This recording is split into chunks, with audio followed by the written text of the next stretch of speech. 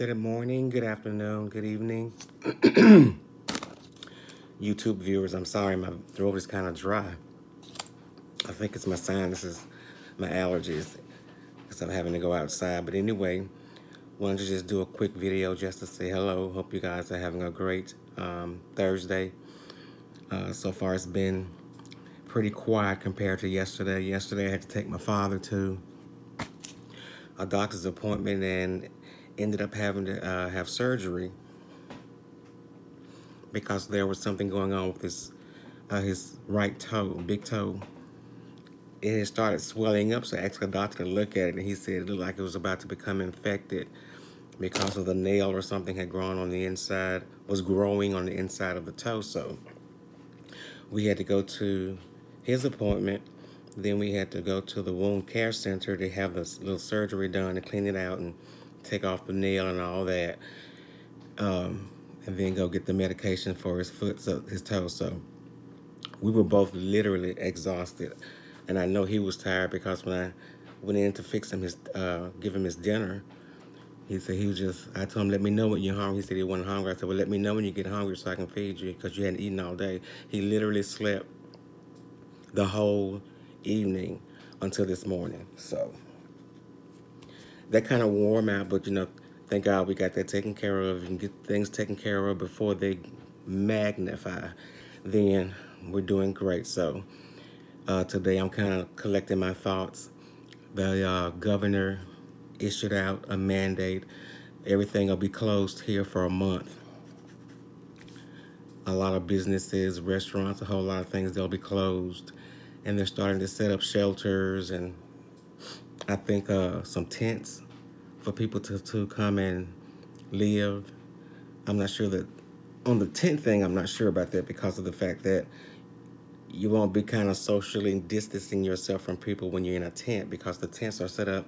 I don't know if you guys have ever seen, I don't know what state, but it's the prison. The guy has a, the warden has tent city where they have the prisoners living out in tents. And see, they're all next to each other in the prisons, in that prison place. So I'm not sure if that's the way it's going to be or not, but a lot of people are kind of worried. And uh, I think the biggest thing that I feel bad about is people who have who have the virus, number one, and then those who have lost their lives and who may lose it, number two. So it's not anything to play with, not anything to take lightly. I know a lot of times, unless something really knocks on our front door, we're really not concerned about it. And we really don't take heed to those things um, that's being instructed to us to do, you know, during the crisis, so to speak. Um, I think they have a curfew here, which I didn't know about until yesterday. Um, and I think it's, I'm not sure if it's 10 at night or something like that. But um, our driver told us that her cousin wanted to go and get something to drink at the store. And it was, I think, about 11 o'clock. And see, so far since the virus has hit, not many people have been going out. And the police and the highway patrol, they haven't been out much. But at, after a certain hour, they're out. And so he he just so happened to get stopped by one and he asked him you know what are you doing out where you're going because of the curfew and he told him he was just going to the store and they told him well you do realize there's a curfew you're supposed to be in at such and such a time and i'm not sure how the conversation went but she said he got a ticket and the ticket is $1000 so like i said a lot of things we don't take serious until the bad happens or until the roof falls off and then we take things seriously. Um, and it would be wonderful if we would do that before things get bad. And that's what I, I, was thinking about this earlier when I was giving Daddy his bath and changing the dressing on his foot. It's amazing how our lives correlates with what some happenings in the Bible. Um, if you remember 9-11, I'm just, that, that one sticks out the most for me. 9-11, Hurricane Katrina. Um, there's been others, Hurricane Hugo, and tornadoes and all of that. When something devastating happens, um, it's only when we see as the United States, I put us, that's the time we come together. It looks like in order for us to come together as a unit, country, however you want to put it, it takes a catastrophe or disaster. It takes somebody dying in order to get that. And in my mind, I'm thinking, why does it have to be that way? But then the kicker is, we'll come together during that crisis, probably a week, months after the crisis, but then gradually we'll go back to our old way of thinking, the old way of dealing with people, our old hatred and our old old dislikes and our old whatever, the negative aspect of our lives. We go back to that. Um, and I was just reminded when I was sitting here uh, trying to contemplate what I need to do next. Isn't that the way it was like in the Old Testament? I say the Old Testament because back then, based on scripture, they actually had God with them, so to speak. Uh, they actually saw miracles being performed before them. When they saw these miracles being performed, um, they would praise God, give God, you know, same stuff we do now, you know, just give God praise and glorify Him and all of that. But when trouble came after the miracle had been taking place and God proved Himself and showed Himself to the people after that, and it passed by, they went back to their old ways. They wanted to worship other gods. Uh, they doubted. They they they did whatever it was they could against what they were taught to do, so to speak. So isn't that the way we are today? It takes catastrophe and it takes losing lives in order for us to come together. We can never come together, and I'm talking about as a country, um, to help solve many of the issues that we have within our own towns, communities, states, government, city. But look at what coronaviruses do. Think about it. And again, my heart goes out to anybody who's having to suffer in any type of way with this disease or with this virus because it's, causing a weight. They've already said that more lives have already been lost than the lives that were lost on 9-11. So if you guys really sit down and think about that, that's a lot of people who have already died from the coronavirus. That's not counting those people who are infe infected. We don't know their outcome. We're praying for them, but we don't know the outcome with them. So this this virus is at a magnitude that's greater than the people who were killed during 9-11. You just consider how many people uh, lost their lives in 9-11. You got to look at the people on the plane and the people, the buildings where the, the planes were crashed into. And if you think about it, though, that's a lot of people who have passed away from this virus. That's the only thing I hate. It seems as if when God is trying to get our attention, it always takes something bad to draw us to our spiritual place, whatever that may be for you. It always takes us losing in order to come to the realization of how small we really are um, and how we're really not needed in the scheme of things, so to speak. And I wonder sometimes if we're ever going to break that chain of thought or that thought process that it, it'll take something negative, it'll take something bad, or it takes something that causes us to grieve to bring us to a place of peace. Whereas we can get to that place without it having to take cost so much. Because believe it or not, when you lose a loved one, take my word for it, and I've lost many. Um, I think the passing of my mother and my aunt, her sister, I I was in a depression. I know for about it's about five years, depressed. I mean, I can't even describe in words how I felt with the loss of those two individuals. Now, I've lost other family members, but for those two, my mother, of course, and then my aunt, it took, it took me, I know I grieved literally five years of depression and lost and void because, see, those were the two people that I could go to and discuss anything with. And I do mean, you know, everything, my life, my my feelings, my emotions, my anger at things, or this, that, that, that, that. Those two people weren't there anymore. And I know people say pray. I understand that concept as well. But sometimes you need that that that individual body there, that person there. And see, when they've been there since you were a child and have always been there to guide you, to comfort you, to instruct you, uh, to encourage you, to uplift you, when you no longer have that, it's tough. So that's why my heart really goes out to people who have loved ones or who have family, whoever that has the virus. And those who have lost, and just imagine the people having funerals. You can't, I mean, it's just the whole thing, the whole system. But again, the country is coming together as far as us, well, other countries, because it's hitting them just as bad.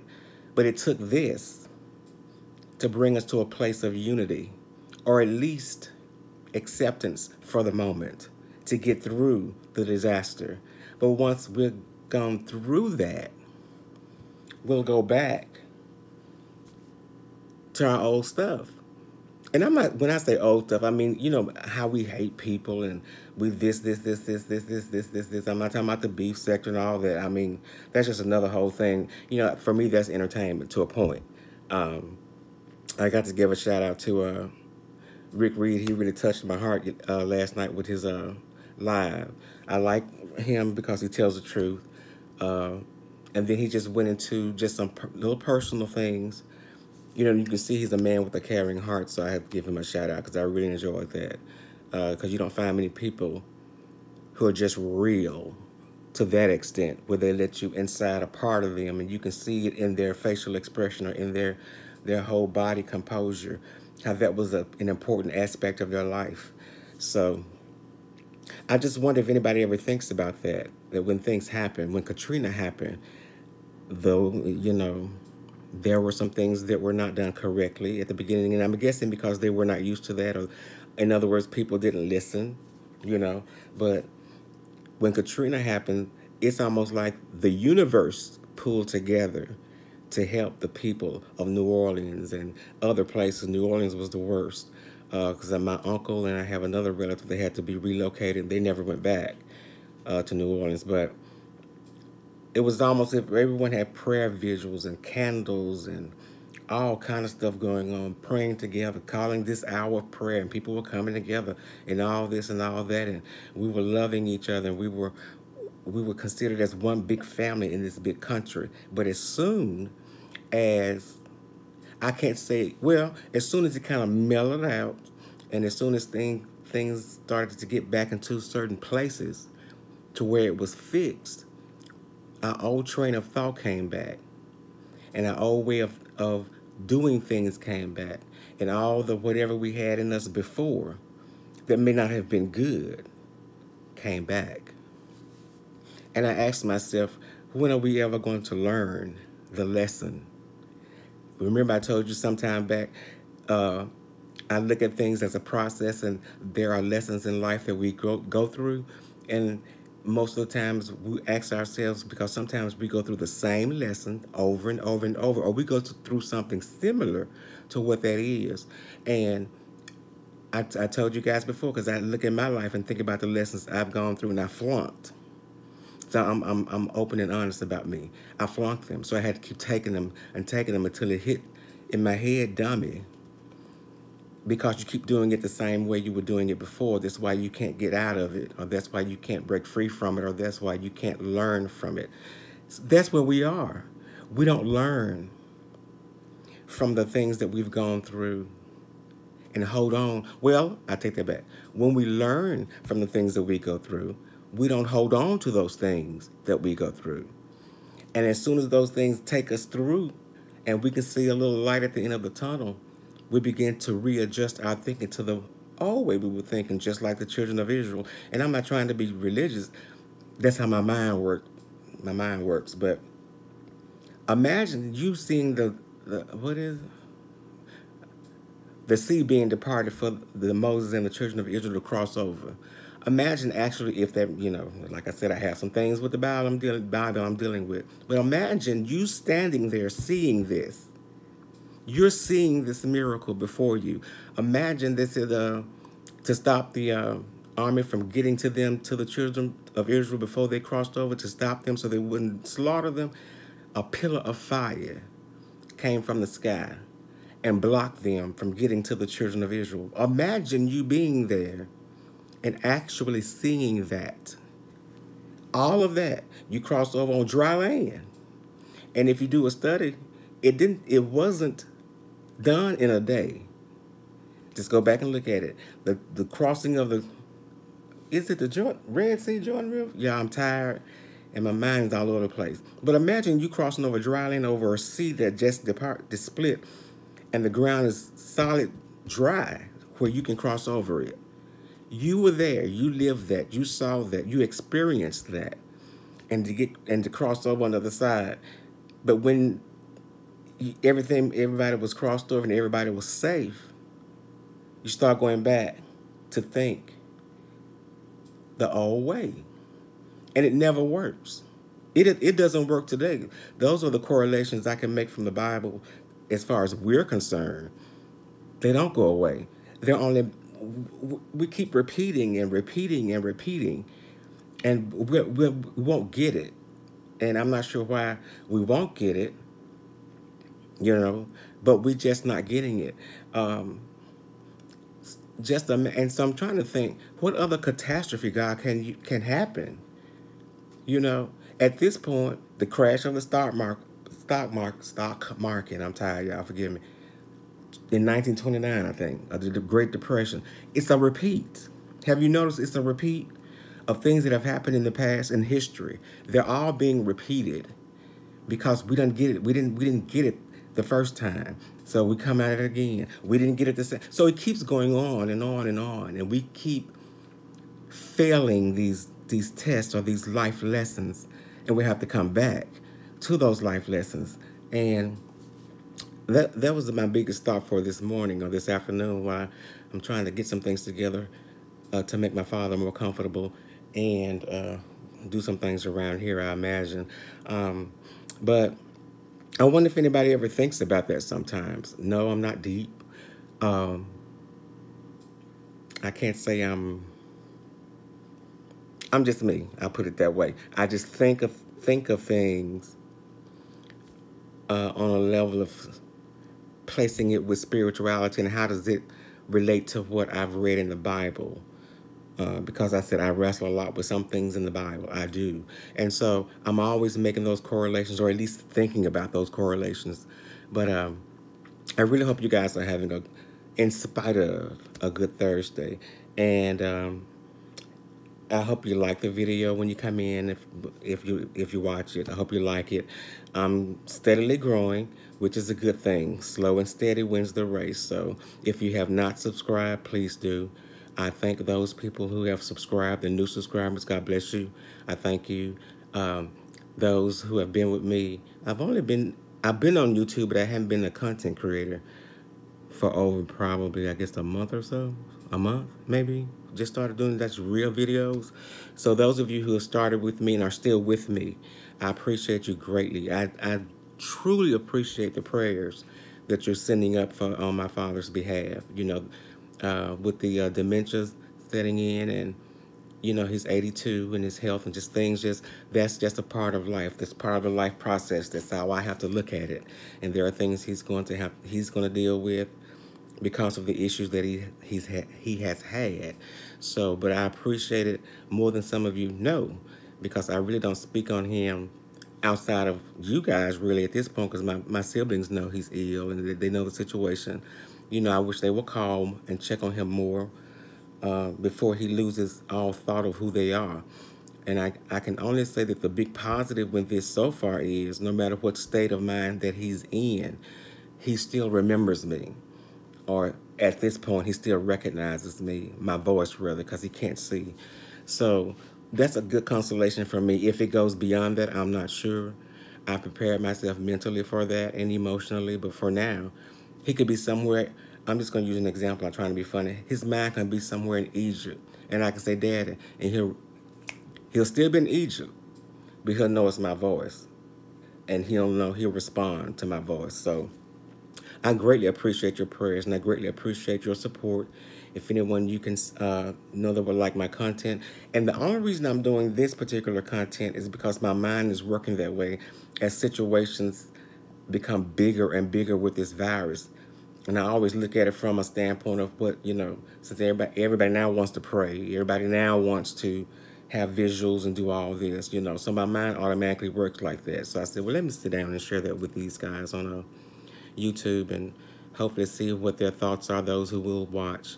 But again, be safe out there. Be, be very conscious where you go, where you, you know, people you're around. If you go out, uh, you're gonna have some people have to go out regardless. You know, it took us almost an hour and a half just to get um, Daddy signed in at his doctor's appointment yesterday because they, you know, they asked you the questions: Have you been out of the country? The cough, the fever, and I understand the precaution, but it looks like if they ask you that at the first desk, they've got they've got things set up now. If you go to the first desk and they ask you that and take your temperature, I don't think anything's going to change from that point of contact 20 steps later to the next desk, and you got to go through that same process.